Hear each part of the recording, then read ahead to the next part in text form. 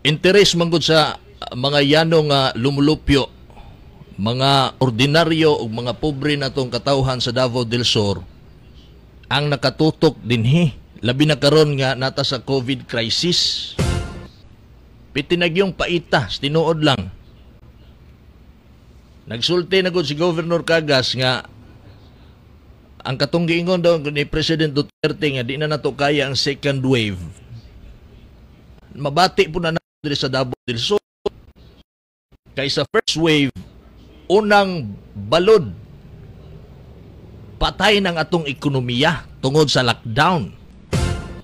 Og mag second wave pa ta aning COVID-19 unya mahuman na ning ato ang uh, ikatulong hugna sa tong relief distribution unsaon na lang nato ni na feel man na sa tong mga yano nga mga lumulupyo sa tong mga katawhan sa Davao del Sur ang kapait sa tong kahimtang karon.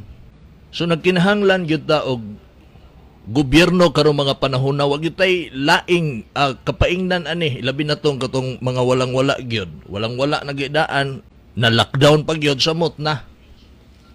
Mo gito sila katong mas nakasabot sa kung punto karong hapuna. Gobyerno na lang gyud atong saligan ini karon unsaon pa nato pagsalig sa gobyerno kung dunay dunay observation niya makita din ha mismo sa mga miyembro sa sangguniang panlalawigan. Unsa man day nahitabo nga kana mag-issue ni mo Mike? Nganong kana mag-issue sa uban? Interes man gud sa mga tao ang ato ang buot ipasibaw din eh.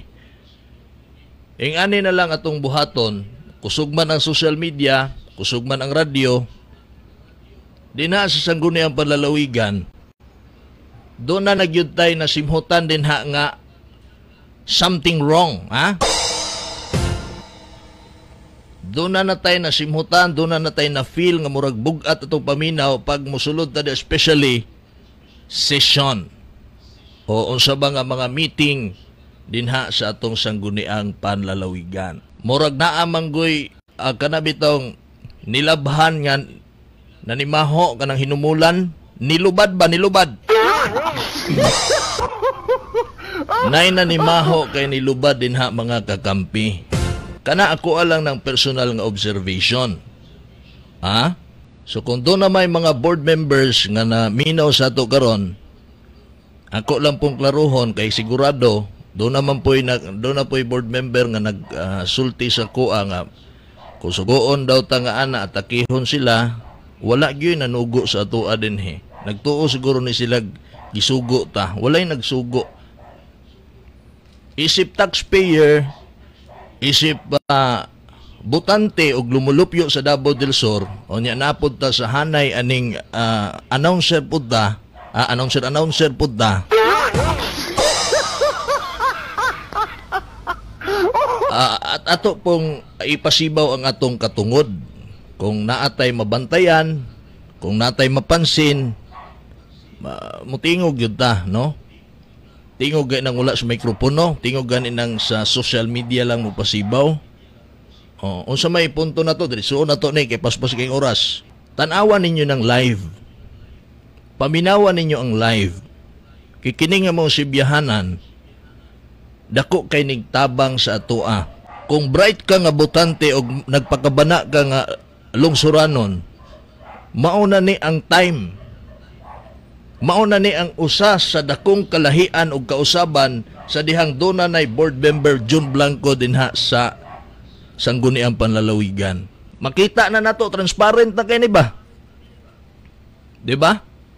Tan-awa ninyo ang live during session unsa nga meeting live sa TV sa social media og sa radyo. Paminawan ninyo unya kamo mo'y mga uh, katawhan nga magbansay-bansay, kamo ang mag-observe. Kamo o kita ang mag-monitor sa atong mga kandidatong gipangboto. Tungod kay ang kanunay na kung ginabalik-balik, kita mo'y nagpanday sa ilang bangko nga mo'y gilingkuran nila karon. So dako kayo ang ato ang katungod nga mag-monitor anang atong mga honorable nga mga board members. So unsaon na to sila pag-monitor, tanawa ang live. Paminawa ang live sa radyo. kung kinsa tong tinud-anay makita makita og ma-feel man ninyo. Kinsa tong concern? Unsay tip na to? Ang usa ka opisyal nga concern mutingog yun na. Ha? Mutingog yun na. Pero di kay basta-basta bukal mong baba putak lang ka kay putak unya way direksyon. Mutingog unya dunay direksyon. Mo ganing musulti ko tanawa ninyo ng live sa K37 pag-follow mo na ana paminaw mo sa radyo kay i-live po na. Kay doon na po'y mutingog din ha daghan pero dili tanan katuhuan. Nakuha na to punto na to mga suking tigpaminaw tunungon po na to bright man itong mga kuan bright man nga itong mga butante sa Davao del Sur.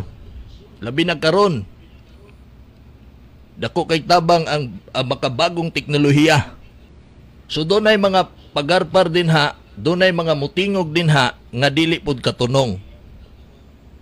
So kung dili gyud sila katunong maglisod tag adjust kita mo'y mutunong. O saan man nato pagtunong? Matunong ra nato na inig eleksyon. Ha inig shade nato nga dili makampat. Ha? Di nato kampaton. Di nato usikan ang tinta ng mga tawhana. Mao nay tip. Nagprograma ko sa charm ga ganang buntag wa na ko masulti. Nahurot akong oras unsa man tip mic ah, mao nay tip. Dili nang tip nga isulod sa bulsa ha?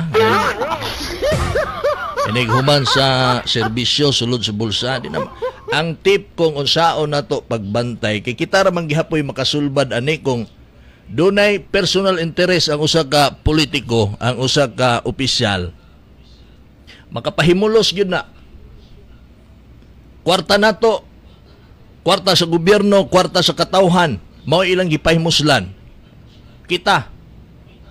Wa gyud tay maato. Lugi kita. Pildi ta. Igo ra tang gamiton ganahan jud kini sila mo gamit og laing tao no?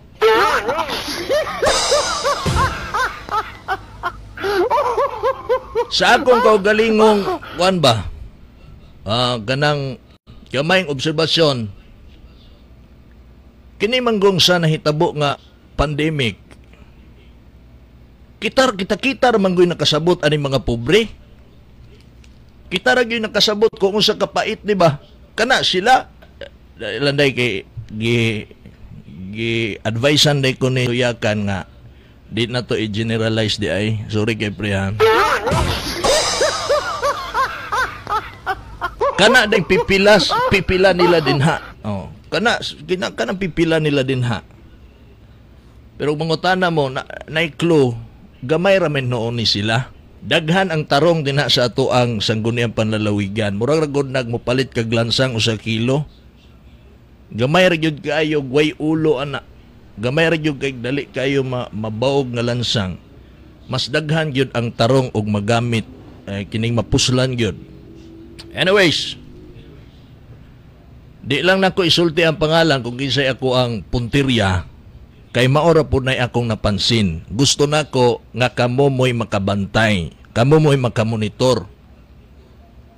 Kinsa tong murag misimang, kinsa tong murag nay personal nga katuyuan, kinsa tong murag natubuay nag uh, natubuan nagsungay nga musungag na. Onya atong eleksyon, kusog kay mo gamit-gamit nga, oy kandidato ko ni Kagas. Oh. O niya karon kay ni dako ng ulo na tubuan nagsungay, manungay na. O niya katong mga supporters sa mga kagas, katong mga ginatawag na tog diehard supporters, mga kagas cares, labi na tong mituog misalig sa liderato sa administrasyong kagas, o katong natabangan. Nga bisag unsaon ni mo bali, di na gyud ma dutlan ang ilahang pagka diehard kay tinud-anay ang ilang nakita sa liderato ni Governor Dudu Kagas. Musugot mog traidoron ang ato ang gisaligan nga mga uh, politician nga nakatabang kanato sa dugay ng panahon gusto mo traidoron tungod lang sa daw dunay personal na interes ang pangutana unsa day na nga interes asa man gyud ni nagkaguliyang ni nga murag naa man kay napansin diha Mike nga ah something wrong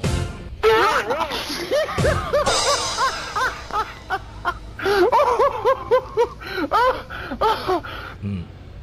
Unya na na, unya na na. Masubay ra na to na. Kung gusto ni Gobernador Kagas mao ni dili man na diha diha dayon kay iagi pa man sa mga sa pag-aproba sa atong mga uh, board members, atong mga honor, honorable nga mga board members. Anong malambot man akong dila din eh. Sige ha. So tanawan ninyo din ha. Makita ninyo ng kinsay dugay kay mo aksyon kay sila ang mo approve. Walay mahimo si Governor Kagas kung dugay-dugayon sa mga board members. Dugay-dugayon o di ba kaha kanang supakon sa mga board members. Sumubalik sa atatong eleksyon. Nganong nibutar man ta ng atong mga kaalyado?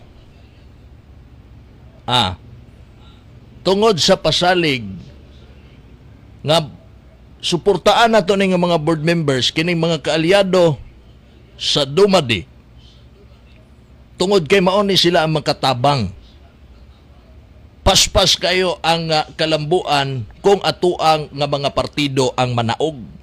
Kita po yung mga pobre nga gusto ta mutabang ni Governor Dodo Cagas, asigigob.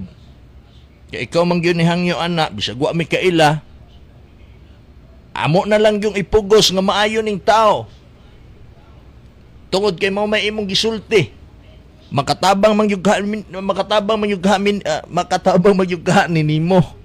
Oh Bisan kog dugay na ning uh, dugay na ning bisag unsa na posisyon ani wa man gyud ni nahimo o man gyud ni natabang sa mo pero amo na lang gyud ning sidan. Kay makatabang man gyud kami nimo. Makatabang man gyud kahanin nimo. Sige. Sus Mario Yosef ni daog man.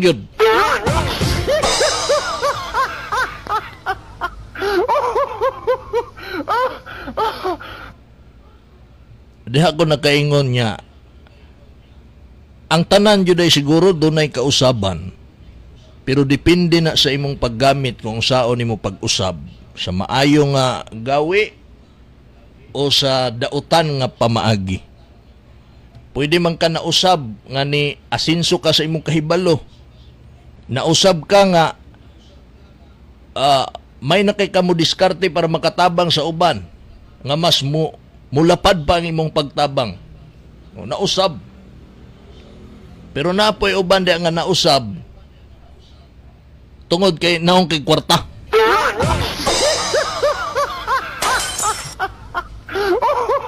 Kaugalingong interes ang yunahuna. Ha? Sa karon nga panahon, pandemic, nagpait ang katawhan sa Davao del Sur, karon pa ka o karon pa mo mo demand?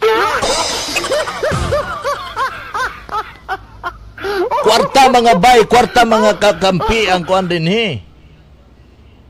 Ang kining uh, isyu na to ani. Dili kwarta sa bisang kinsa, dili kwarta sa negosyante, di kwarta ni Juan de la Cruz o ni Maria Aguanta.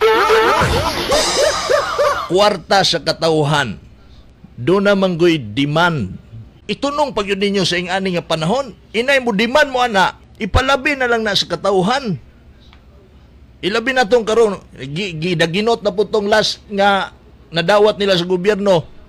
Nagulat na po kanus-an na po sila magpakilooy, kanus-an na po sila magilog para sa ihatag ng limang kilong bugas. Manok, dilata, gulay. Nagtipid, nagbudget.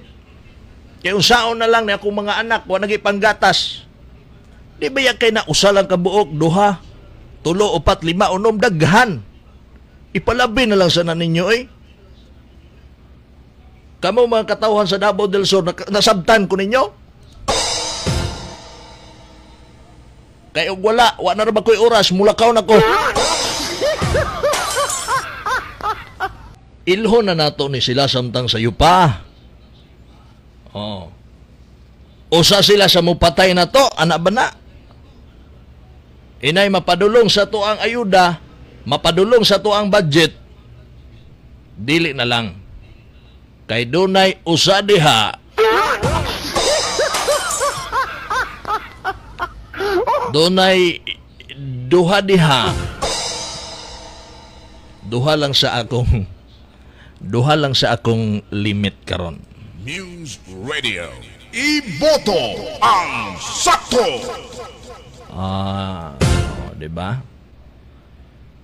Sumaon ay tip. Bantayin ninyo mo nang importante kayo mag-live diha sa session hall